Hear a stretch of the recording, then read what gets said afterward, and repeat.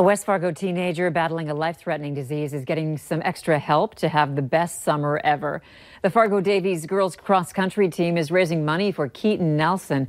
The teen suffers from cystic fibrosis. Humidity, air, and smoke make his condition worse, so he cannot spend a lot of time outside. So the runners are doing it for him. They're raising funds for the team with a car wash, but they're also selling baked goods for Keaton. The family says their efforts inspired Keaton to get involved too. Thank you to everyone for thinking of Keaton.